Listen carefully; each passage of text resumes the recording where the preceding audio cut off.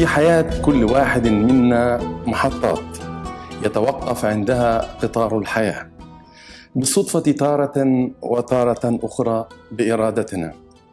ضيف حلقة اليوم من برنامج غريب أديب مر بالكثير من هذه المحطات. في حياته نتعرف عليها من خلال هذا اللقاء. ضيفنا في هذه الحلقة هو ابن بغداد الصحافي الدكتور عامر البياتي. دكتور عامر أهلا بك أهلا بكم وبجميع المشاهدين والمستمعين الكرام.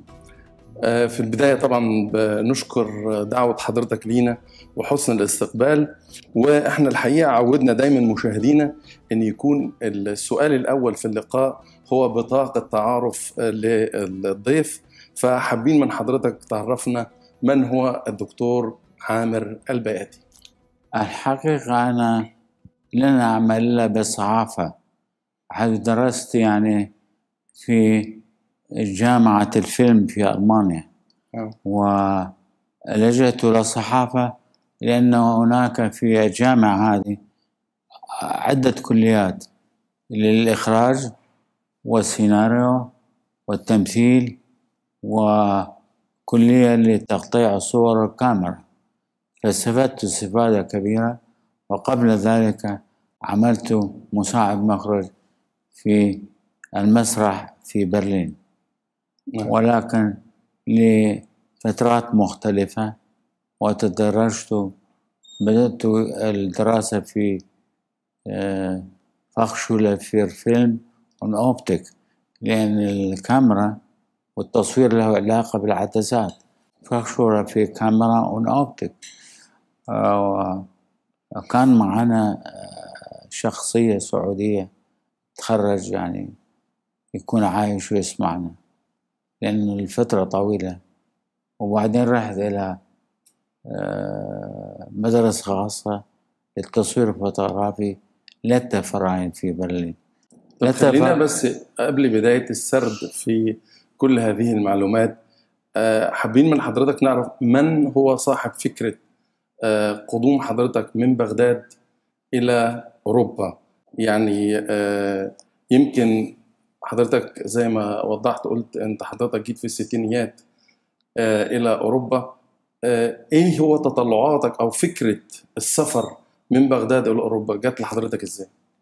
كان أخي يدرس في ألمانيا وعمي الكبير أيضا يدرس في ألمانيا في أماكن مختلفة.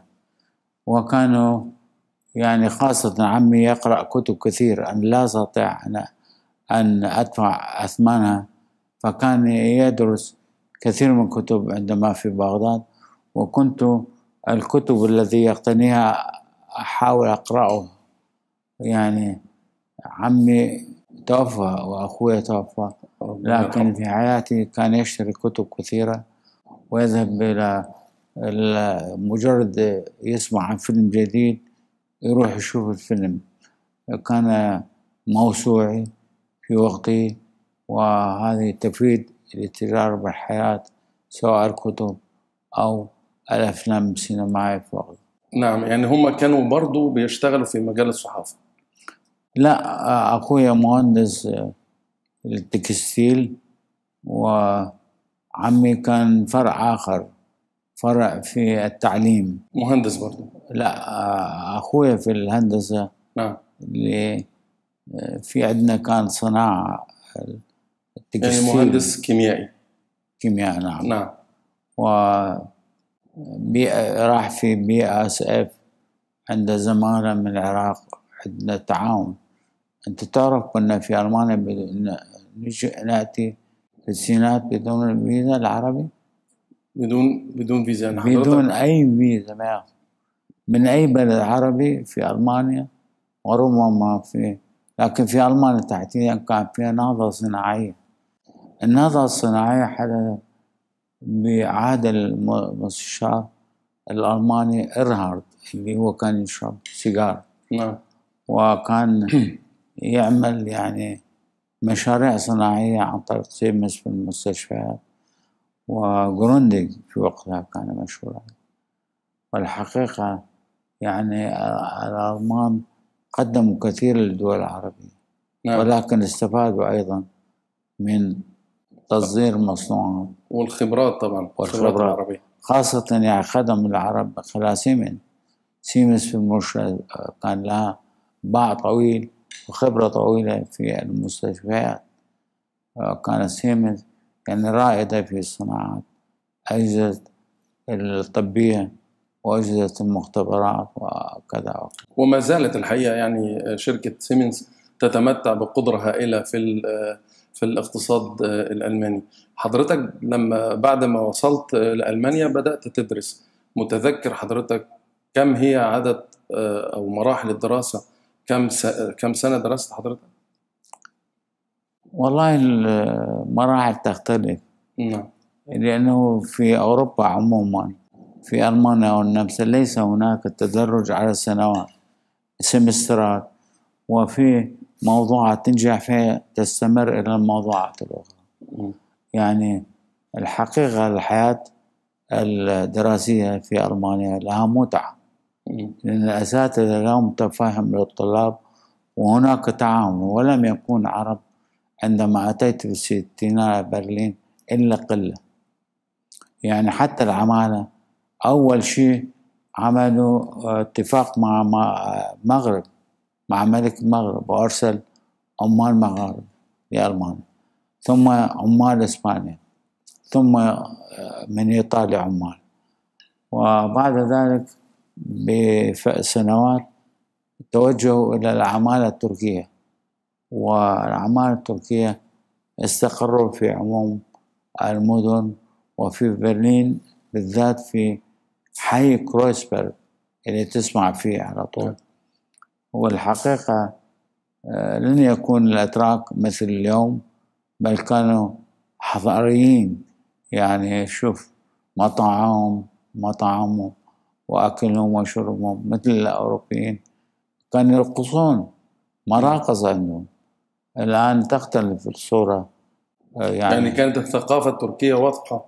آه، أو جداً. موجودة بشكل كبير جداً. في في يعني في أنا تعرفت على سيدة آه، تلعب باليه من تركيا نعم في الأوبرا نعم يعني صارت صداقة معها.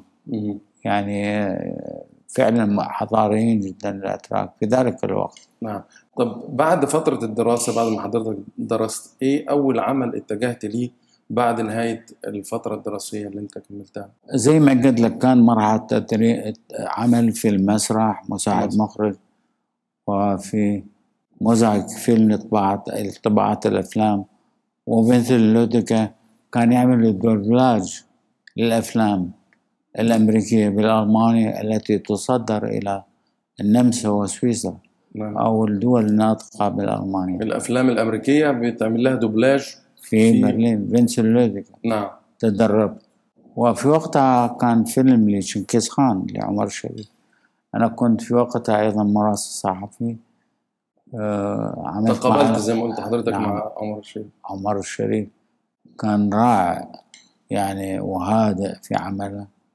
وكان يعطي صورة عن العرب بالخارج رائعة جدا رغم أنه كان ستار. كان أيضا حضاري. نعم. محور الحديث مع عمر الشريف كان إيه؟ إيه المحاور اللي ناقشتها معاه؟ والله عن الفيلم فن يعني. عن الفيلم نفسه. عن فيلم شنكيز خان. يعني كان لقاء فني. قال يعني آه، المحتوى اللقاء أنه آه، هنا الصورة للعمل السينمائي تختلف عن الدول العربية كل شيء مبرمج ومدروس ومقنن. يعني يقول أنه استفاد من فترة تشنكيز خان كثيرا. نعم. لأن تشنكيز خان الحقيقة لن يضر آه، يعني مواهب عمر الشريف ولكن في نفس الوقت كان أيضا مدرسة.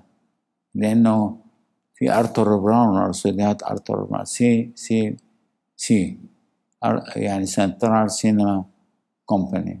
نعم. يعني كان هذا استوديو كبير. وكان عمر الشريف عمل شنكيز خان وعمل فيلم آخر. آه لورانس العرب. لا ما كان في برلين. آه، شنكيز خان وفيلم آخر. يعني هو تقابلت مع عمر. الشريف في الفيلمين اللي اللي هم آه، تم صناعتهم في ألمانيا. في ألمانيا في أرتور براونر استوديوهات CCC C Company نعم دث C وعمر شريف كان مدرسة حتى بالنسبة للأجانب بسلوكه و يعني كيف كان يحاول يعرض الشخصية شخصيته وكان كان مؤثر جدا نعم كان يصوت الجميع عندما يشتغل. يصمت تماما جميع يعني لن تسمع أي كلام لأنه في الإعلام يصير كلام. بس لو كان مثل عمر شريف كانت شخصيته تؤثر في الجميع وبالمشاهدين حتى في الاستوديو بمناسبة الشخصيات يمكن في النقاش مع حضرتك قلت لي إنك تقابلت مع الكثير من الشخصيات على مستوى العالم على العالم. ما هي الشخصيات ال- التي تأثرت وأثرت في حياة الدكتور عامر البياتي؟ فيلي براند كان عمدة مدينة فيينا. كان في بداية حياته السياسية فيلي براند برلين. في برلين نعم. نعم. وكان يدعو الصحفيين وأنا كنت كل أسبوع يعني في المؤتمر الصحفي أو الندوة الصحفية وتكون دردشة معه نعم. كان هو حضاري جدا وأنا تأثرت به. يعني كان ليس يدعو فقط إلى يعني العمل الصحفي أو المؤتمر الصحفي بل كان يحاور الصحفيين ويحاورهم بند يعني يحترمهم ولذلك تأثرت في فيلي براند وتأثرت بعمر شريف وأنا عملت مع مقابلة مع الكاتبة الروائية فرانسواز فرانسواز ساغان الفرنسي. آه هذه أيضا يعني قمة نعم. في الأدب وفي النظرة الثاقبة للحياة وفي التعاون مع الناس واحترام البشر. نعم. يعني أنا شفت عمر شريف وفيلي براند وفرانسواز ساغان وآخرين آه واحدة star أيضا آه نسيت اسمها. كانت تغني شانسون يعني أغاني آه على الطريقة الفرنسية. نعم. هيلدغارد كنيف. زوجة دافيد كاميرون أيضا عملت معها لقاء وكان لقاء ممتع لأنه هذول ستار يعني تحدثوا ليس من فراغ وإنما عن تجربة في الحياة. يعني هيلدا جارد كنيف معروفة حتى في عموم أوروبا. وزوجها إنجليزي دافيد كاميرون. احتضنوني. أنا كنت شاب صغير يعني نعم. في بداية حياتي. وما زلت حضرتك شباب بس في ذاك الوقت نعم. كان يعني يجب النظر يعني شاب يستقبلوه إنه يعمل لقاء مع فنانين كبار. يحتضنوني هي هند جارنر وزوجة دافيد كاميرون. أنت حضرتك كنت بتشتغل مع آه، في الصحافة الفنية فقط ولا تحولت للصحافة السياسية كمان؟ لا بدايتي الصحافة فنية. نعم. آه، الأفلام كنت أحضر مهرجانات كان مهرجان الأفلام في برلين ومهرجان في بولندا. آه، يعني في مهرجانات كثيرة. كان في فرنسا؟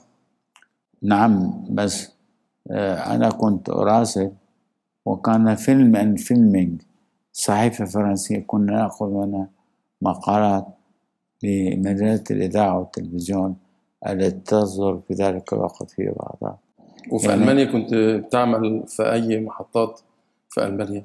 أنا بدأت يعني بعد ما مشوار مع الدراسات الكاميرا والتصوير والطبع والتحميض تعلمته.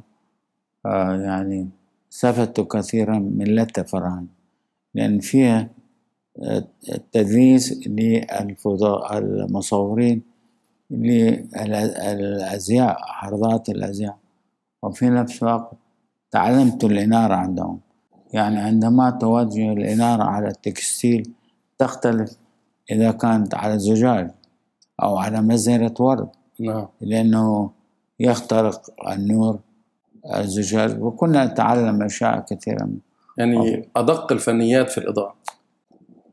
كانوا يعتنون بالإضاءة وبالعدسات. نعم. أنا قلت لك بداية درست في آه، فخشولة في الفيلم لينزن أوبتيكا. نعم. لأن العدسات مهمة بالنسبة للتصوير. وفي لتا الفراعنة عملنا التحمير. وكانت كاميرات كبيرة يعني. الفيلم بجد كفيلي داخل أو كنا نصور كنا نصور سيارات أو سباق الخيل. كان في برلين. نعم. يعني يريدون نشوف نقدر نتعامل يعني كيف نقدر نصور. يعني إذا كان سريع سرعة الحركة. يعني سرعة حركة السيارات أو الحصان في السباق كنا نحرك الكاميرا مع. الحركة. كان تجربة جيدة جدا. مع طبعا ما كانش فيه يمكن التكنولوجيا اللي موجودة في الوقت الحالي ولكن كنتوا قادرين على إظهار الصورة بشكل آه، مبدع. المبدع هو بتوجيهات الأساتذة نعم. يعني إحنا دخلنا اللابور اللابور بعدة طلاب أظلم. مم. أعتقد اللون أحمر أو يعني ما يقدر يتحرك. فكنا نندى واحد على واحد ونمشي. انت فين؟ فين؟ وكنا نتعلم التحميض. يعني تعلم التحميض بس كان في ذلك الوقت فيلم بقدر الكف يدخل في الكاميرا. ونحمضه واحد واحد. يعني تجربة وقلت لك علمنا كثير كيف التعامل مع الحياة والتصوير سواء السيارات أو في الشارع أو في المحلات العامة علمونا كثير. طب آه، برضو حابب أعرف من حضرتك الصعوبات اللي قابلتك في في البداية. يعني لما حد بيجي الدولة دولة مختلفة اللغة مختلفة كيف تعاملت مع صعوبات اللغة والطقس وال يعني حياة جديدة أكيد طبعا من بغداد إلى آه، ألمانيا؟ أكيد هناك اختلافات كبيرة اختلاف كيف كبير. تعاملت مع هذه الصعوبات؟ أنا كنت أتقبل ه- هذه التجارب الجديدة لأنه آه، بالحقيقة في ألمانيا يعني حتى البنوك تختلف عن بنوكنا والمعاملة في الحياة والعلاج في المستشفيات تختلف كانت يعني صورة تعطيك تجارب نعم للحياة ولدولة مثل ألم- ألمانيا. كانت رائدة في الصناعات وفي أيوه لكن قلت- أكبر صعوبة قابلتك لما جيت هنا لألمانيا كانت إيه؟ والله لأنه أخويا وعمي كانوا في ألمانيا يدرسون. نعم. آه، أكدوا على تعلم اللغة وتعلمت اللغة واللغة تفتح لك آفاق فلن ألاقي صعوبات. نعم. لأن اللغة تفتح يعني ما حسيتش بالغربة في وجود أبداً. الأخ والعم؟ وكمان نصيحتهم ليك بتعلم اللغة لا هي اللي اللغة, ساعدتك؟ اللغة أهم شيء طبعاً. تفتح لك أبواب يعني في مثل عندنا في مصر بيقول إذا أردت أن تتقي شر قوم أعرف لغتهم ف- فهو اللغة في طبعاً. يعني- اللغة تفتح وفي ذلك الوقت أنا جامع واحد واحد في برلين تأسس آه، في عهد النازية أو من قبل هتلر وكان جامع واحد جامع ويوم الجمعة أنا رحت أشوف في دارلمدورف مم. آه، قليل فيه. ما كان جالية إسلامية آه، يعني الأتراك كانوا قليلين والعرب قليلين. يعني تقدر تقول على عدد الأصابع. يعني في الجامع يوم الجمعة قليل. والجامع تأسس في عهد هتلر. هتلر. وكان في زمان هتلر يونس بحري. في الإذاعة آه، عندنا برنامج يحيى العرب. نعم. يونس بحري. لما انهارت النازية أعتقد راح إلى إندونيسيا. وابنه درس في فرنسا دكتور سعدي يونس بحري. آه، عمل صداقة معه. يعني تعلم. وبعدين يونس بحري آه، لجأ إلى مات في فرنسا. لأن أول مرة زي ما تقول لما انهارت النازية راح إلى إندونيسيا. وأينما كان يذهب كان يتزوج. يعني هذا يقال كان يتزوج.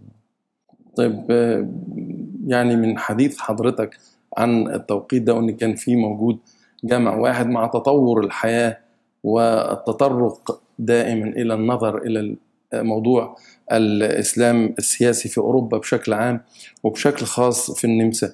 كيف تنظر إلى جماعات الإسلام السياسي في النمسا الآن؟ أستاذي العزيز هو أول من جاء الأخوان المسلمين إلى سويسرا. وكان واحد من الأخوان المسلمين أسس بنك على يافطة في جنيف صغيرة جدا. يعني تقدر تقول ثلاثين سنتيم نص متر بثلاثين سنتيم. وجاء الملك فهد أودع أموال كبيرة. فالسويسريين انبهروا تقصد حضرتك يوسف ندى؟ يا يوسف ندى. نعم. يعني أسس بنك في جنيف. وأتذكر شقة صغيرة يافطة صغيرة بس حضور الملك فهد إلى جنيف انبهر آه، سويسريين وقدروا هذا الرجل والحقيقة يعني بعدين اتهم من قبل ال FBI وتم برئته بعد. يوسف ندى. نعم. نعم. لكن نظرتك لل آه، للإسلام السياسي في الوقت الحالي يعني مع ارتفاع وتيرة محاولة تحكيم ال- ال- النشاط السياسي آه، الإسلامي. كيف تنظر لهذه ما قلت لك قبل قليل الأخوان المسلمين جاءوا إلى سويسرا أولا نعم. من خلال الأخ الذي ذكرناه قبل ثم إلى ألمانيا. وبمساعدة السعودية خاصة ودول الخليج ثانيا قام بتأسيس جوامع ليس باسم السعودية أو الخليج بل صارت بأسمائهم. نعم. بأسمائهم الشخصية وهذا خطأ كبير لأن في الدول الإسلامية وقف إسلامي. أما في أوروبا يسجلون الجوامع بأسمائهم. نعم. وحتى الجمعيات الآن كثيرة في أوروبا في أوروبا والنمسا بأسماء الأشخاص. وهذا نعم. خطأ كبير. لأن هذه يجب أن تكون وقف للمسلمين. ليس بأسماء أشخاص. ليس بأسماء أشخاص. هذا آه، خطأ كبير. من خلال حديثي مع حضرتك تطرقت أن هناك عدة أن حضرتك قمت بكتابة عدة كتب آه، مختلفة في مختلف المجالات. حدثنا عن هذه التجربة تجربة ال- آه، الكتابة. الحقيقة عندي كتاب آه، قامت يعني ما يسمى بالدورة الإسلامية تهديدي خمسة عشر مرة. وقتلوا كلهم في سوريا. مع الأسف الشديد. هذا ليس إسلام. الإسلام دين سمح دين واضح مثل المسيحية دين نعم. واضح. لكن هم استغلوا الإسلام واستغلوا الدول بالدعم المادي وأسس جوامع. يعني حضرتك كتبت كتاب عن الإرهاب. نعم كل عمل عن ضد الإرهاب ضد نعم. الإرهاب أنا عملت لسنوات طويلة في كورونا سايتون قلت تقرأ يوميا هذه الجريدة اليوم الجريدة الأولى في النمسا. يعني صحيفة كورونا واسعة الانتشار. نعم. تعتبر كبيرة في وسط أوروبا. أنا كنت أشتغل معها من سنوات طويلة. كنت خبير إسلام وضد الإرهاب كنت وهذا جاب تكتب كنت حضرتك بتكتب مقالات. على طول. نعم. على طول. وكنت مختص في الموضوع.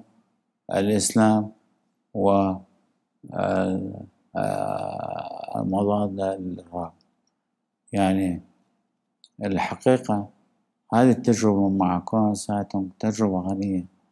لأن ال- الصحفيين يعني كانوا يتعاملون بامتياز. ويجلبون آه، الواقع إلى الموا- المواطن البسيط آه، وكما تعلم يعني اثنين ونصف مليون تقرأ يوميا صحيفة. يعني ليس لها مثيل. يعني اثنين ونصف مليون تتجاوز ذلك يعني في المطاعم وفي المقاهي يقرأ أكثر من شهر. يعني الجريدة بتصدر آه، بتصدر أعدادها 2.5 مليون جريدة. نعم. طبعا في انتشار واسع.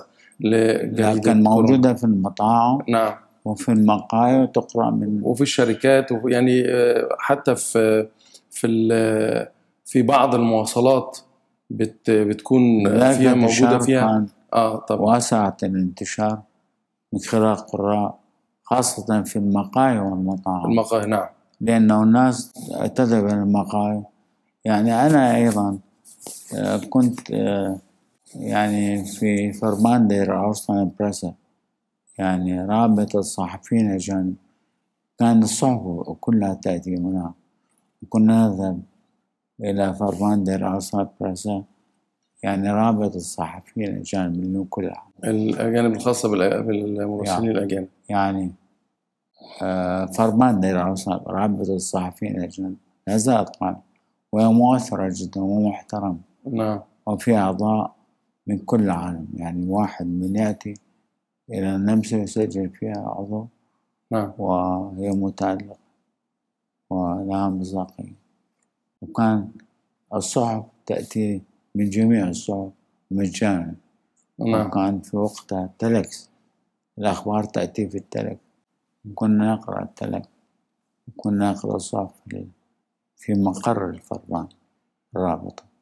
دكتور عامر هستأذن حضرتك هنخرج فاصل وبعد الفاصل هنرجع عشان تحدثنا عن مرحلة انتقال حضرتك من ألمانيا إلى النمسا. مشاهدينا الكرام فاصل قصير ونعود ونكمل الحوار مع الدكتور علي البياتي ابقوا معنا تستطيع مع انفوجرام الوصول لأكثر من مليوني متابع في النمسا شهريا.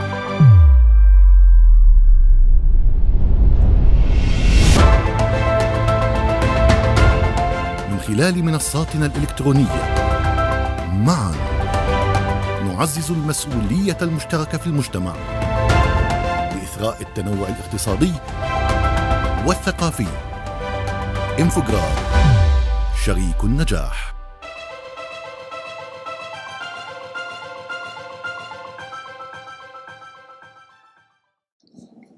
مشاهدينا الكرام مرة أخرى نعود ونكمل الحوار مع آه، الدكتور عامر البياتي.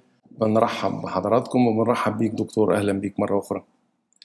آه، دكتور آه، كنت حابب حضرتك تتكلم عن شخصية من الشخصيات اللي تأثرت بيها برضو في حياتك في في خلال من خلال وجودك في ألمانيا عن. فالتر بروخ. تفضل الحقيقة فالتر بروخ مخترع طريقة PAL system للتلفزيون ملون.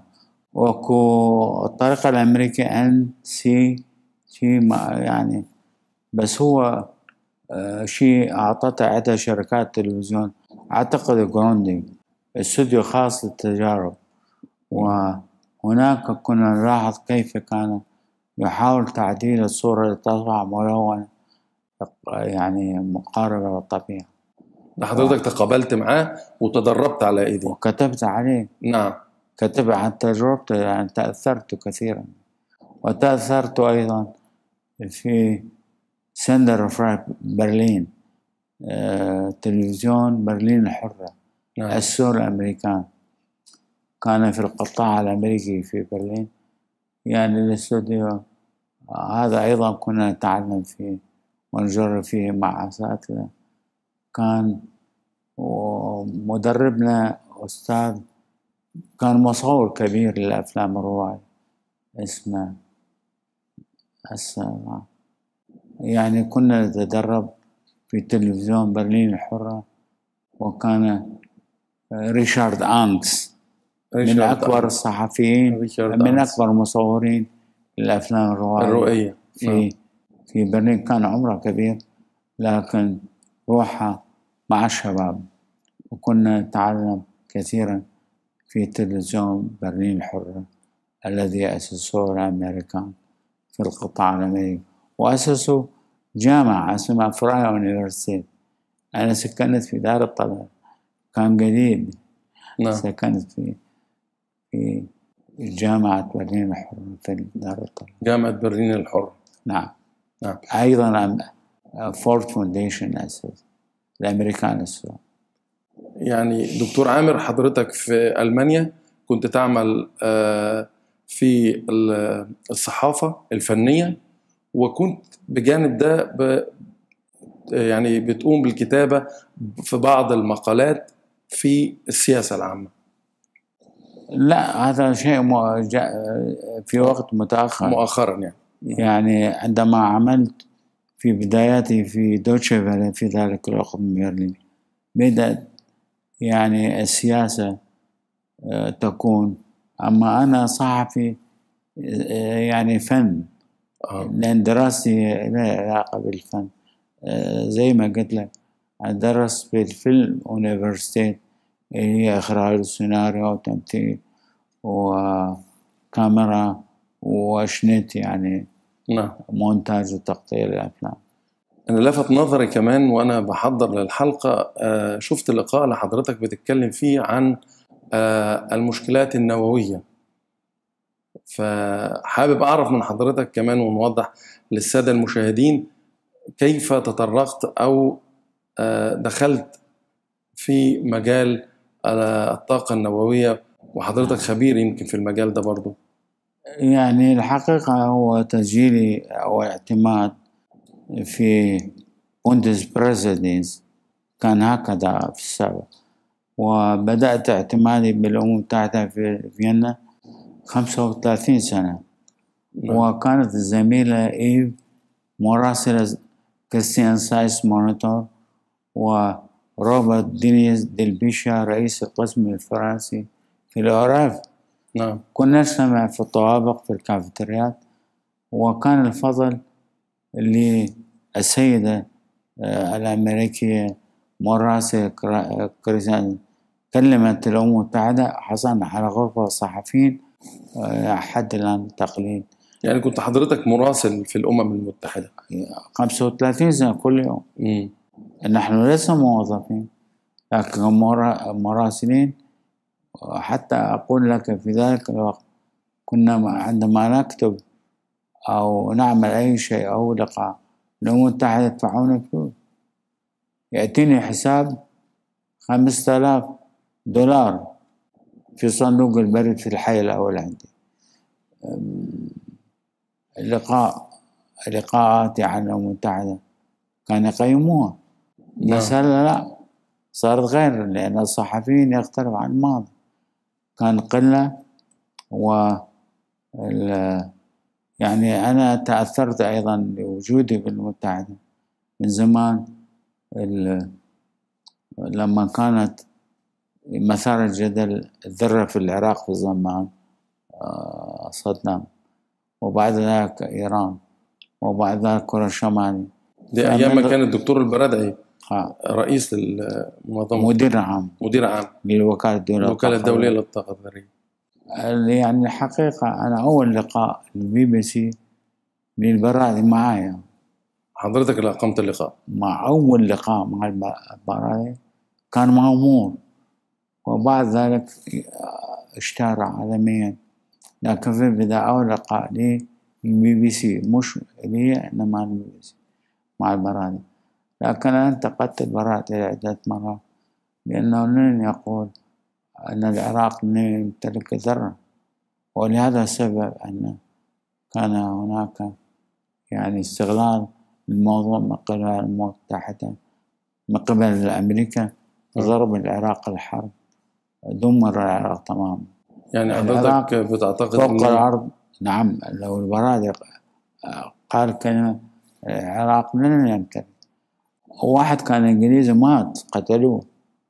كان أيضا يؤيد عدم وجود كان خبير في الملف النووي العراقي وأنا كنت أتبع الموضوع. يعني حضرتك بتقول إن إقرار البرادعي آه، الدكتور محمد البرادعي لوجود آه، آه، سلاح نووي في العراق هو اللي أدى إلى قيام أمريكا بضرب العراق. لا هو لن يقول أن في العراق لكن المفتشين كانوا جواسيس أيضا وقتل أحدهم إنجليزي نعم. لأنه كان يعارض يقول أن العراق لديه ليس لديه ليس لديه. ذرة لكن البرادة لن يقول آه، يعني لن ينفي أن العراق آه، ليس لديه قدرات نووية بل كان يشكك من خلال المفتشين وهذا خطأ كبير العراق كان بلد غني آثار فوق السطح وتحت الأرض يعني بترول. نعم. ضرب العراق ضرب وتأخر إلى سنوات ماضية.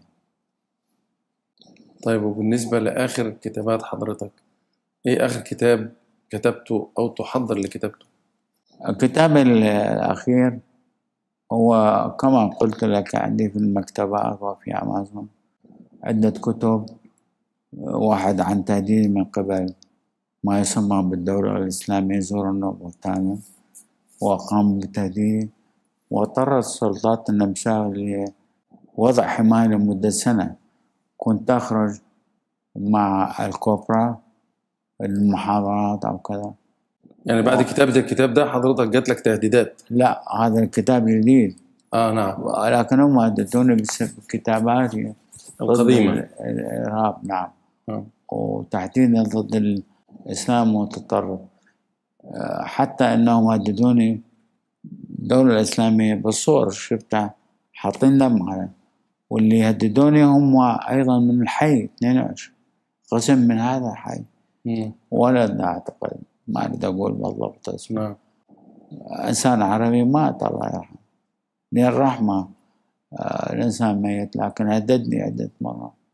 وكان يلعب بالسلاح وبالفلوس بالصور يعني وده اللي خلى السلطات النمساوية تقدم لحضرتك الحماية في الفترة دي لمدة سنة. لأن هددوني هم. نعم. هو هددني وآخرين وعملوا على قص الدم يعني إنه يقتل.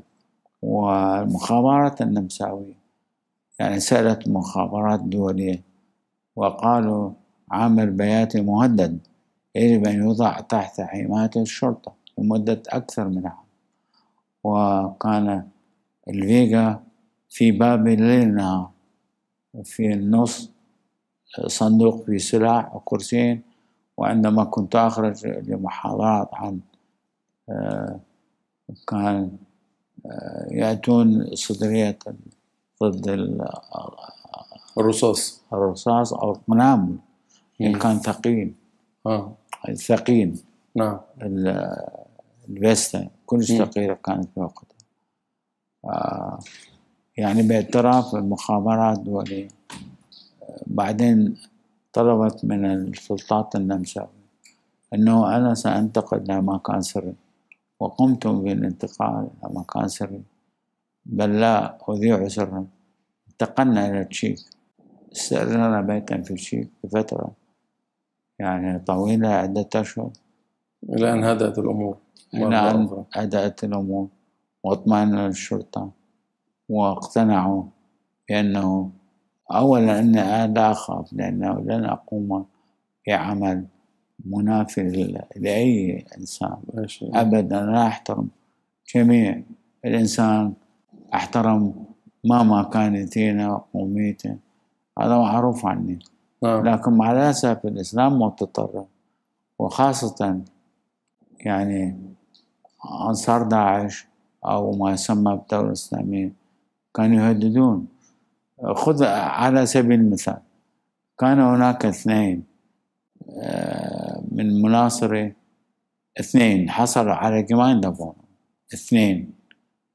واحد حصلوا على شقق من البلدية. نعم. نعم. وأنا انتقدت وأرسلت آه، البلديه في صفحة الفيسبوك أن فيينا مدينة فيينا اعطت آه، لارهابي آه، قبض عليه في تركيا وبعد سنتين في الحبس أطلق سراحه وأعطى راتب شهري وشقة في باقرة تراسة رقم سبعة وستين. كتبت هذا واسمه هو آه، جده وأهله في ماسدونيا بس هو ليس من ماسدونيا هو ألباني. وهذا حصل على شقة وآخر كان عنده كلر لوكال جامع. أرسل كثير إلى ما يسمى بالدولة الإسلامية. وجاءني الأخ حسين مصري قال أقتله قلت لا تقتله لأنه هو يدخل السجن. تستطيع احكي مع أولاده ف يعني حبس يموت عشرين عام. لأن السلطات النمساوية شعرت أنه يقوم بالتأثير من خلال وعظ الجماعة وإرسال المزيد حتى المراهقين إلى ما يسمى إلى داعش. إلى داعش. إلى ما يسمى بالدولة الإسلامية هو جاء به أوراق أو جواب صربية بس هو بوسني. نعم آه بس ذاك الأول اللي قلت لك آه اسمه آه اللي قتل اثنين نوفمبر آه أحداث بعد. حصر على راتب طلع من السجن نعم. قيمونا مساويين لكن خطأ كبير من مدينة بين انتقدت هذا نعم. كيف أن أنصار داعش أو الدولة الإسلامية يعني هذول ترورستين يعتبرون. كيف يحصلون على شقق؟ والنمساويين يتمنون الحصول على شقق وحتى الأجانب المقيمين. يعني كانت مرحلة مظلمة الحقيقة في فترة خطأ كبير. آه الثاني من نوفمبر. حتى لما كان في السجن كان عنده يعني آه، جمعية اسمها ستارت كان يشوفون عليه وجمعية إسلامية. أعطوه زي ما نقول بالألماني ترجيشا يعني إنه سلوكيته جيد. لما أطلق الصراحة أنا شفته بالصدفة في المطعم جنب بيته. إحنا كنا أنا وزوجتي في الطريق آه، فردنا نشرب شيء آه، وجاءوا اثنين إلي. بعد عشرة أيام قام اثنين شباط. بعملية إرهاب وقتل ناس أبرياء الثاني من نوفمبر. والدولة ومدينة فيينا كان راتب وحصل على جيماند فونونغ في فاكر عمر سبعة وستين سبعة وتسعين. والآخر عنده شقة مية وعشرين متر مربع هو عشرين سنة في السجن مرصاد. زوجته لا زالت عايشة في هذا الحي في اثنين وعشرين.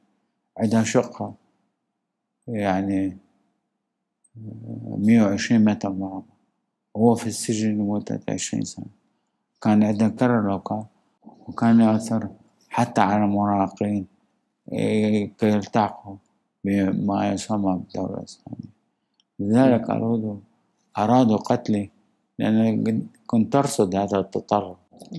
لأن كما قلت لك الأديان سواء دين كلها بتدعو للسماحة يعني والمحبة طبعا. الإسلام المسيحية اليهودية كل الأديان سمحة.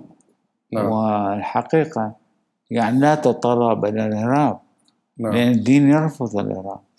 ومع الأسف يعني كان رو... عندنا كلب آه، يعني حبس مع يعني عشرين سنة.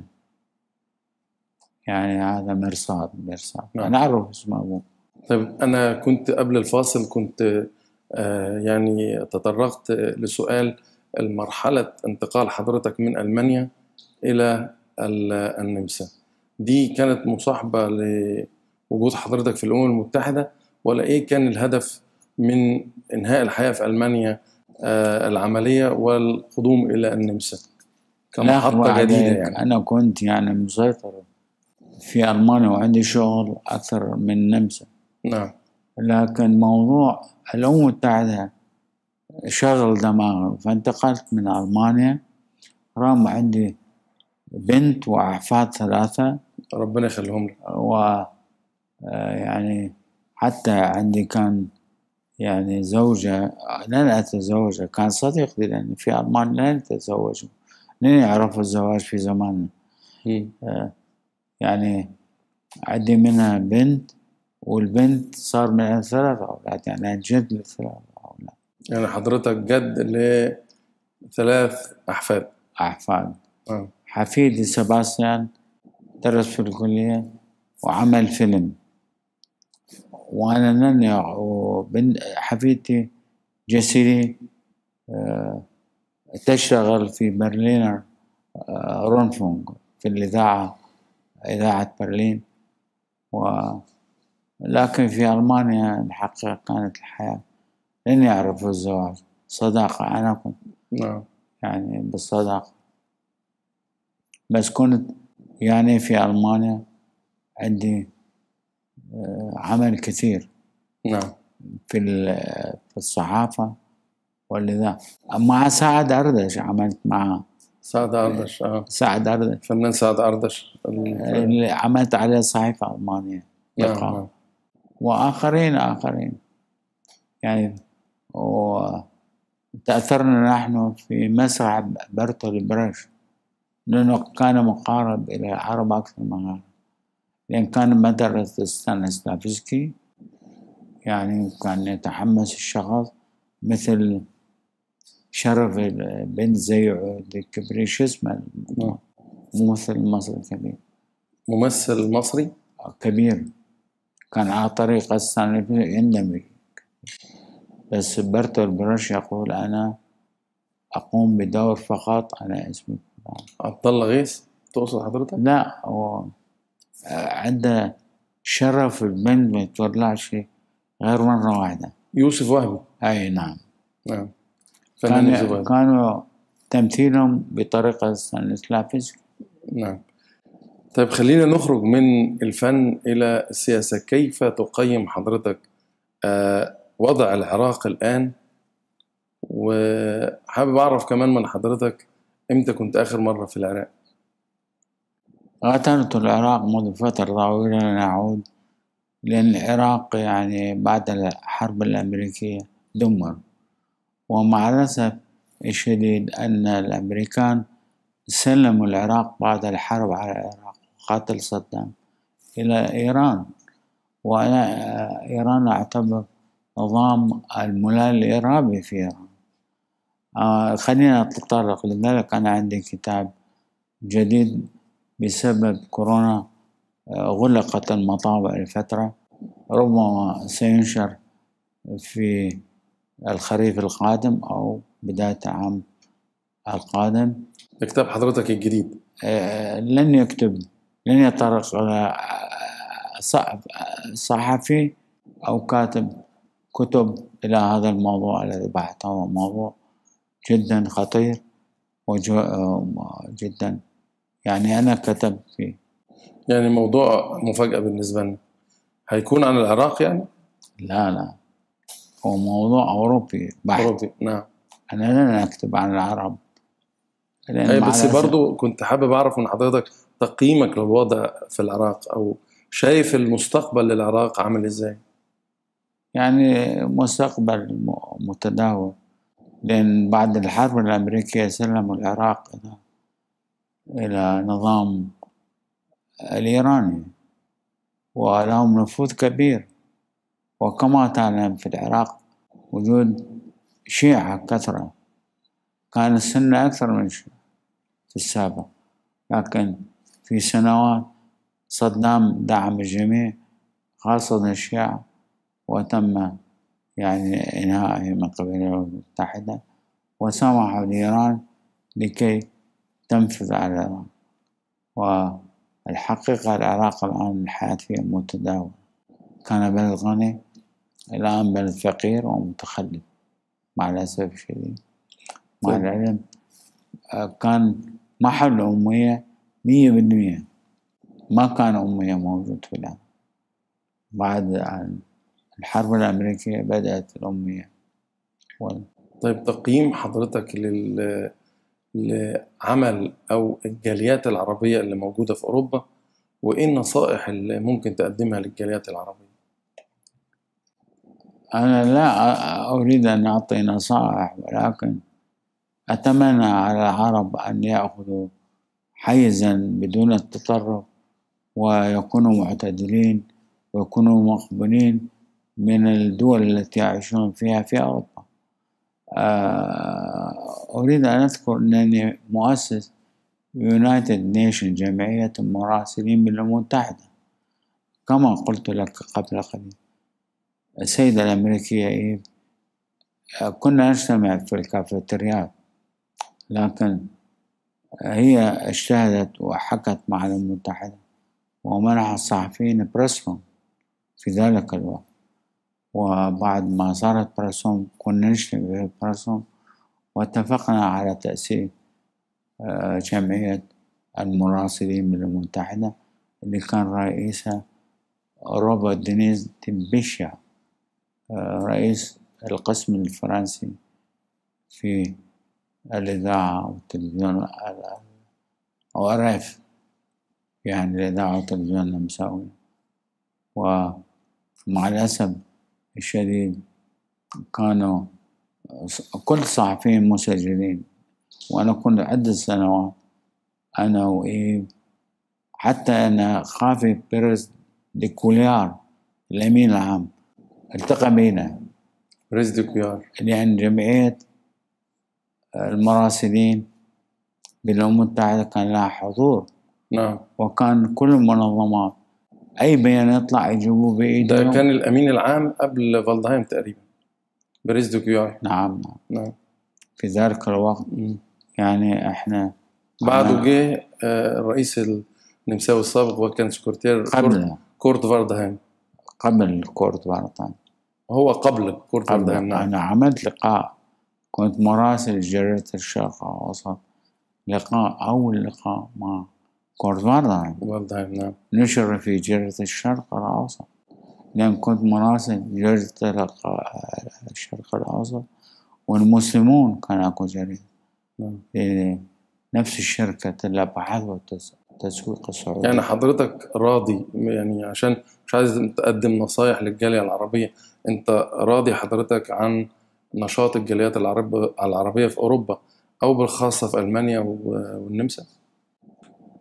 لا يعني الغالبية ليس لهم دعوة في الأمور السياسية.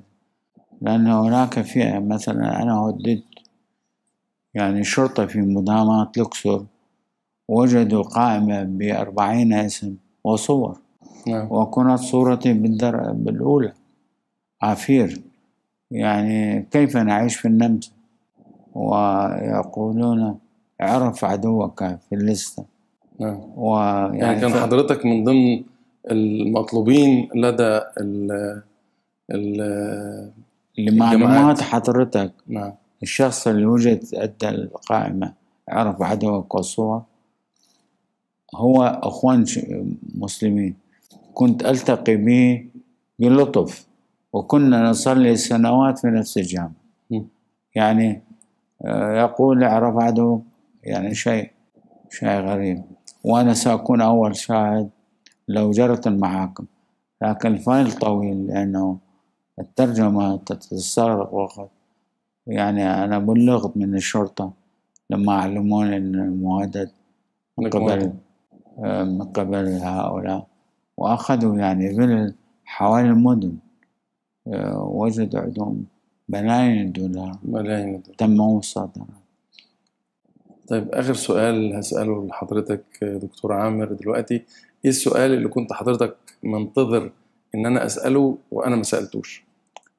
الحقيقة أنا حصل على جوائز في السينما نعم. حصل على جائزة من مهرجان لايبزيغ للأفلام الوثائقية والقصيرة. نعم. لوغانو ومهرجانات أخرى لكن مهرجان لايبزيغ آه، مشهور عالميا. للأفلام الوثائقية والقصيرة مهرجان معروف وكان يحضروه عرب كثير وسينما سينمائيين عرب.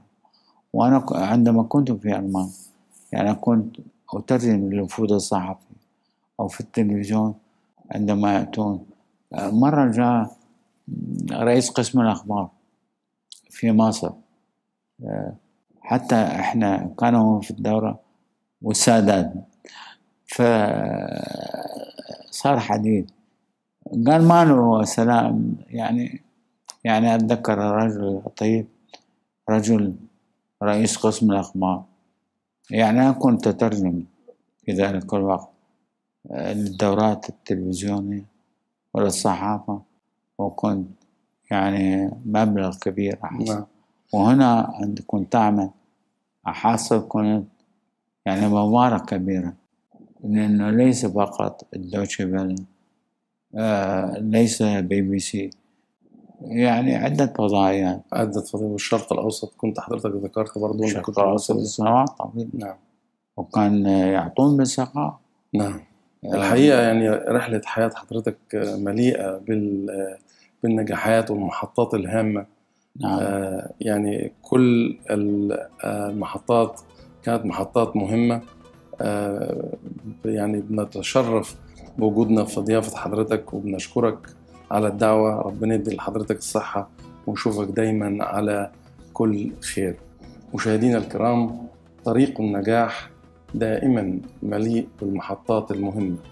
كانت هذه هي رحلة قطار حياة الدكتور عامر البياتي. نشكر حضراتكم لحسن المتابعة والشكر أيضا آه، للدكتور عامر. شكرا دكتور عامر مرة أخرى. تابعونا دائما وقطار الحياة لن يتوقف ومحطاته الخاصة بكل شخصياتنا في برنامجنا غريب قديم شكرا لكم والجميع مشاهدينا. شكرا دكتور عامر. شكرا حضرتك. شكرا.